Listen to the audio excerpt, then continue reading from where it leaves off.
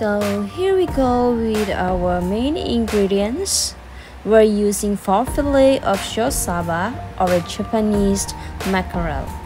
So we're going to take it out on the packaging or washed.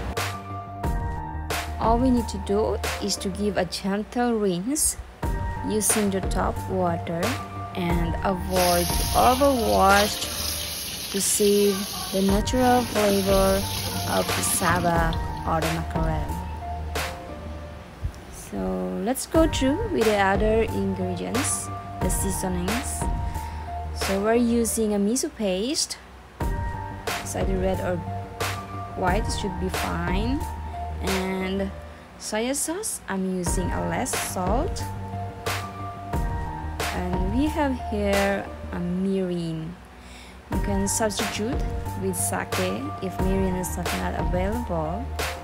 Using a ginger. To continue with our fish, gently brush on your fingertips to feel whether there's any bones left.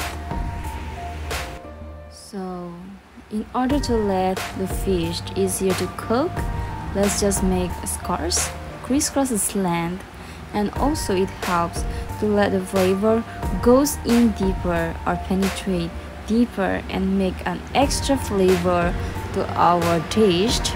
And of course it will give a beautiful natural beauty after cooking. You can find it out after.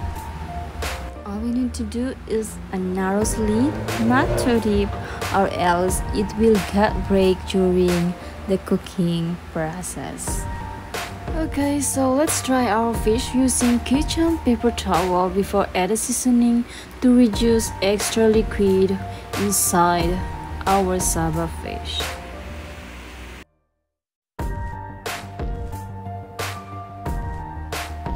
This should be dry enough, I guess. So let's proceed to the next step. How to make homemade teriyaki sauce. Let's start with our soy sauce 25 ml.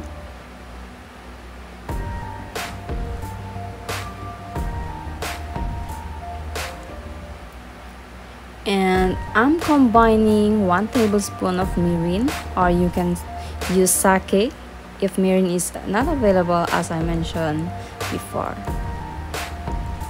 And I'm combining 2 tablespoons of miso. You can use white or a red should be fine. And to remind you guys, soy sauce and miso itself are already uh, salty enough so watch out for the level and try to control. And I'm adding dash of black pepper powder. So let's go. We just mix well until the miso paste completely dissolve.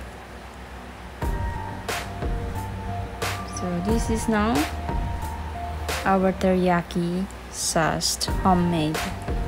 Now it's ready to use. We just coat it all over the saba using brush. And if brush is not available, just pour it on the top. Mix with your hands, but make sure it's clean of course.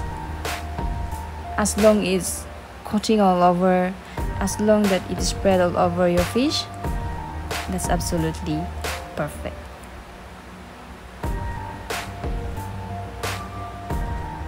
okay so let's make sure that all our saba is filled with our teriyaki sauce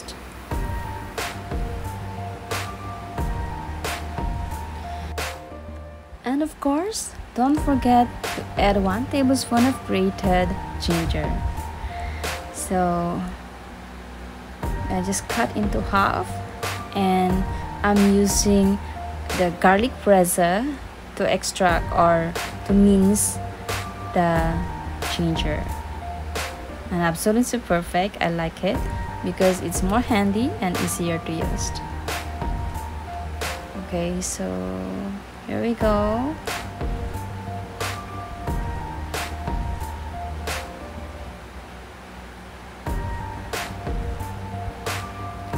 so I just scrap it with a knife.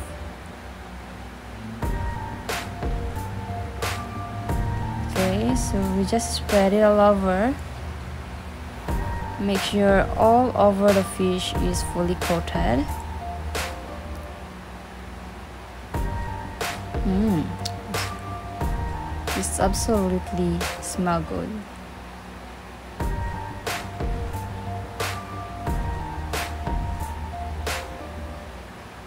okay.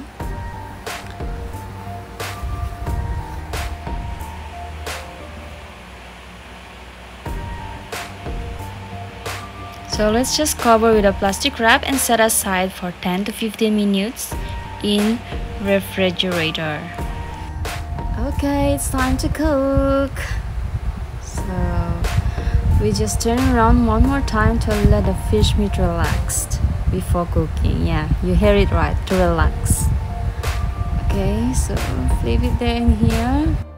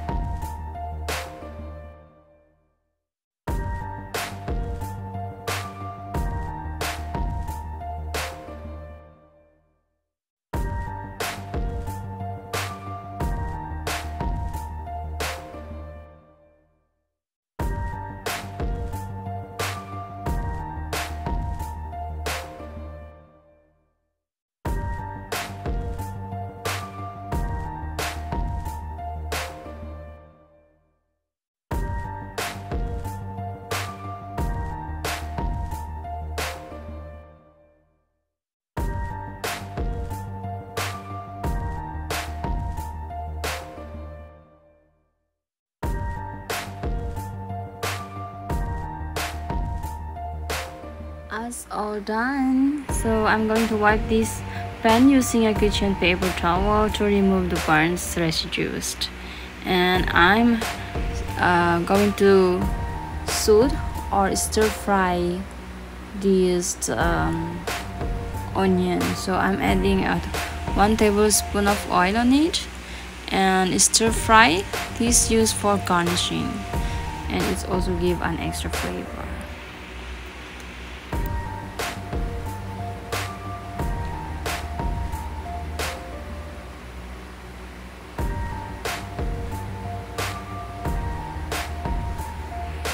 Okay.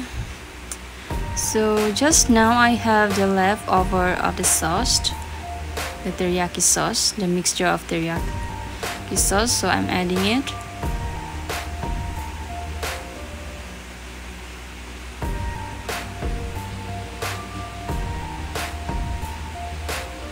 So we don't have to cook so much.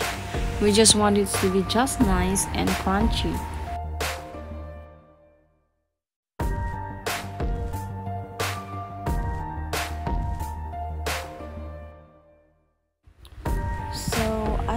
ready we just put on top as a toppings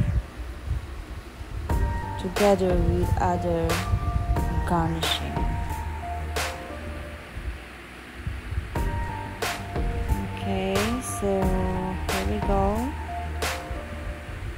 And I'm adding on top of some of these dried nori and some spring onions on it. And of course there's a sesame seed. Okay look perfect. And it's beautiful with the crisscrossed pattern